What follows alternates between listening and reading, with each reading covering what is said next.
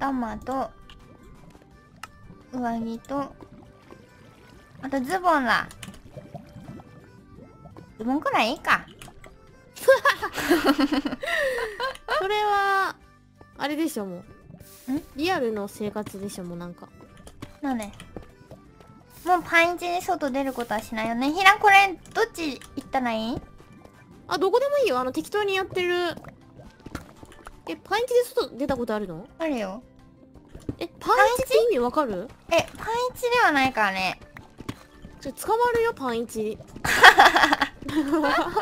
全然ベランダ出ちゃうパンイチで。え？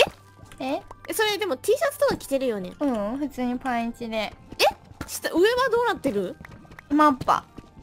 え？全然ベランダならよくない？えでもベランダってさみんな見てるよ意外と。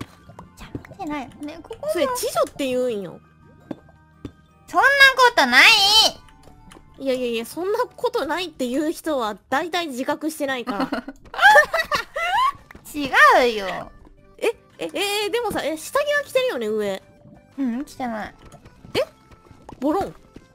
うんミミいつも上着ないもん下着。え待って待ってえなんかタオルとかではかかえタオルとかでか拡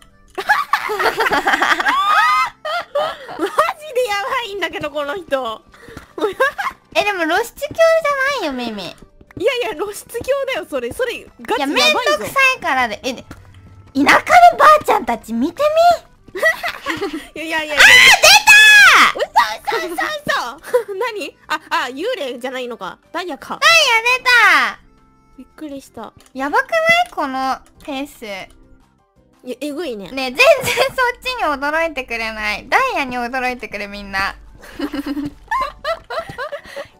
だろ耳がパンイチで外出ても何が問題なんだよそりゃ問題よ。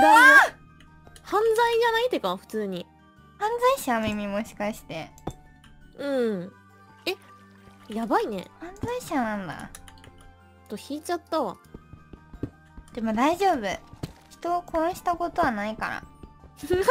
そりゃそう当たり前よもうえ耳大丈夫かな。嫌なんよね上の下につけるの。